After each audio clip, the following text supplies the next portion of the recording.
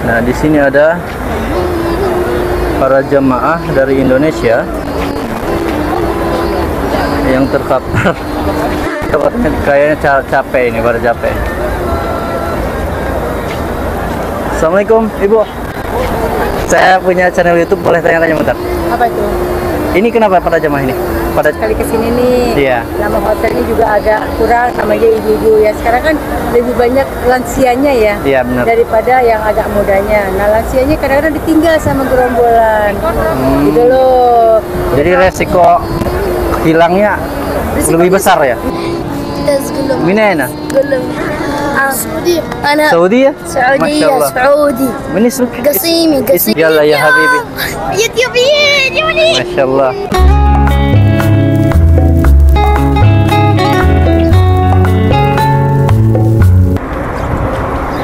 Oke, assalamualaikum warahmatullahi wabarakatuh. Oke teman-teman, selamat sore semuanya. Kembali lagi di vlog saya di channel YouTube saya Sofyan NH Channel. Nah, gimana kabarnya antum semua? Semoga selalu sehat dan selalu berada dalam lindungan Allah Subhanahu wa taala. Oke teman-teman, sebelum masuk ke inti video, ke inti penjelasan dalam video ini, sebelumnya saya mau menyampaikan kepada antum semua, pada para penonton, kepada para teman-teman, siapa pun yang barangkali ada doa khusus yang ingin dipanjatkan di Masjid Agung Nabawi, di Masjid Baginda Nabi Muhammad SAW, silahkan komen di bawah.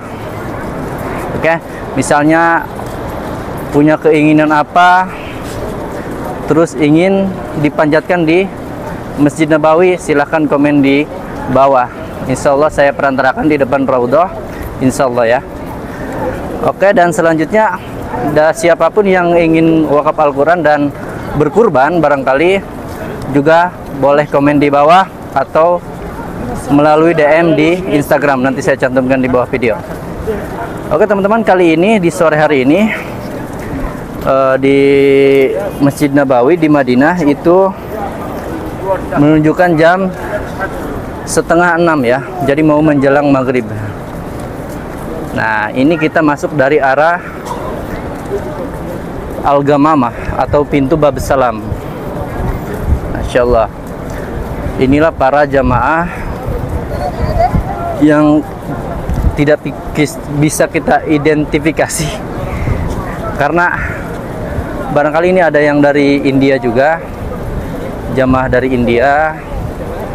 Kalau dilihat dari secara fisikal ya ada yang dari India ada banyak dari juga dari Indonesia tuh misalkan ini atau dari Malaysia. Intinya dari arah Asia. Nah di samping juga banyak dari arah yang eh, kayak Afrika. Masya Allah jadi dari semua negara muslim yang melaksanakan haji sekarang memadati Masjid Nabawi.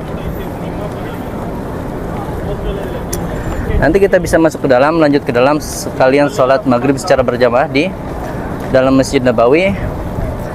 Masuk jadi ini suasananya teman-teman.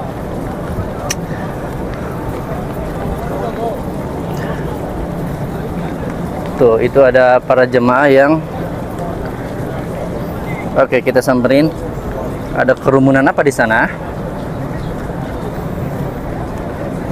Coba kita lihat.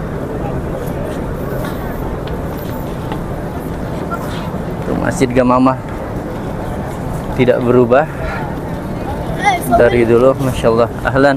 I love you Where are you from? my friend my friend my name is Qusay Hussein, where are you from? I'm from معتز Where? معتز قول لهم من أين؟ قول لهم السعودية أنا سعودية؟ سعودية ما شاء الله. سعودي من اسمك؟ قصيمي اسمك قصيمي اسمك اسمك اسم صيني سيني اسم محمد محمد أنا اسمي هلا حسين. أنا من إندونيسيا أنا أنا من إندونيسيا قصي إيش اسم القناة هذا؟ قناة سفيان إنها channel أه؟ سفيان إنها channel يدك يا خبر يلا عشان يلا يس- ولعنا يلا يا فيديو. حبيبي. يوتيوبيين يا ولي Masya Allah Dua anak mungil dari Saudi asli, orang Saudi asli Oke sekarang kita lanjut ke inti pembahasan teman-teman. Sekarang saya sudah berada di area dalam dari Masjid Nabawi ya. Tuh, masya Allah. Di sini saya tunjukkan itu yang dinamakan dengan Raudhah atau makam Nabi Muhammad Sallallahu Alaihi Wasallam.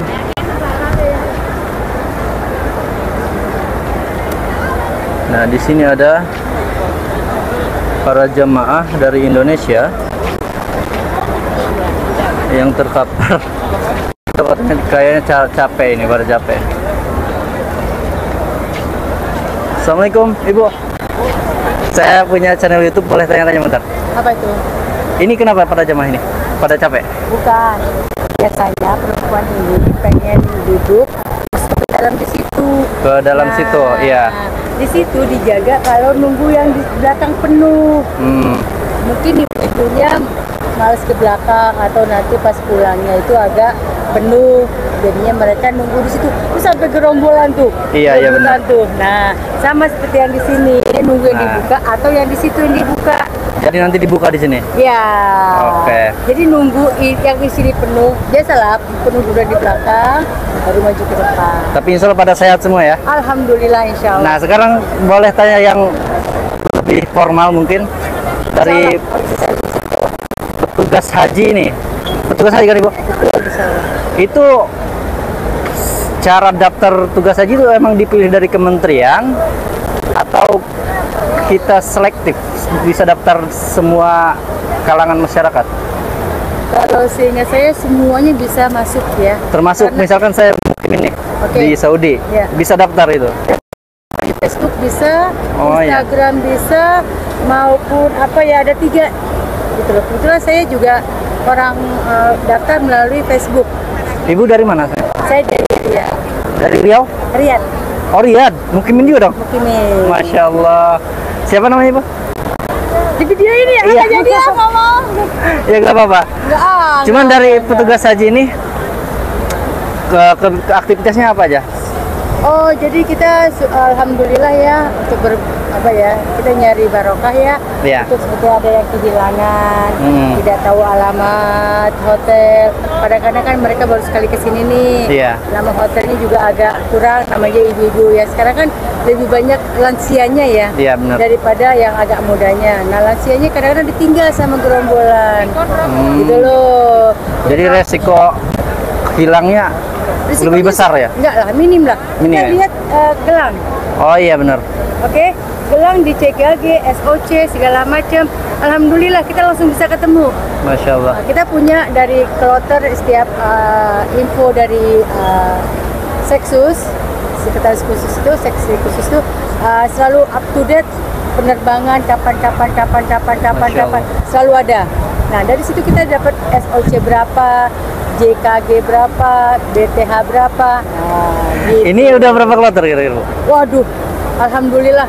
Saya sampai nggak bisa ngitung berapa kloter ini. Udah banyak berarti ya? Alhamdulillah. nah menurut total semuanya untuk 2023 itu 230 ribu kalau nggak salah 221. 221 ribu Ya. Masya Allah banyak juga ya. Oke Ibu terima kasih atas Baik. informasinya Baik. Salam kenal dari saya Sofian Channel Oke salam semuanya Baik, baik. Ibu terima kasih Terima kasih. Assalamualaikum Oke teman-teman jadi Tadi ada petugas perempuan Dan beliau itu mukimin juga Mukimin juga Pekerja juga di sini Dari Riyadh katanya.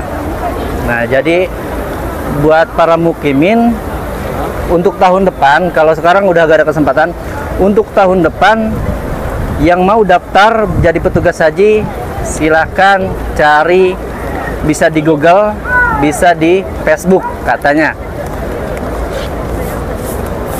Terus tadi ada ibu-ibu yang duduk-duduk juga. Katanya lagi biasanya itu kan pengen ibu-ibu pengen di dalam situ cuman udah penuh jadi nunggu yang di depan dibuka sana Masya Allah Oke teman-teman dan karena ini udah menjelang azan maghrib, kemudian informasi atau inti dari video sudah kita dapat tadi. Kita tanya-tanya eh, petugas haji. Insya Allah bermanfaat ya buat kita semua. Dan sekali lagi kita doakan para jamaah haji supaya selalu diberikan kesehatan dan dijadikan haji yang mabrur. Masya Allah.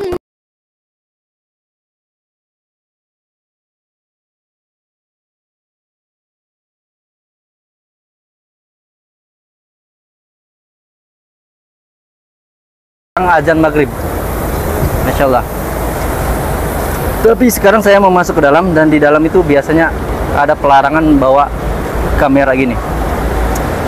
Oke barangkali saya tutup di sini. Kurang dan lebihnya mohon maaf. Wabillahi taufiq wal hidayah. Wassalamualaikum warahmatullahi wabarakatuh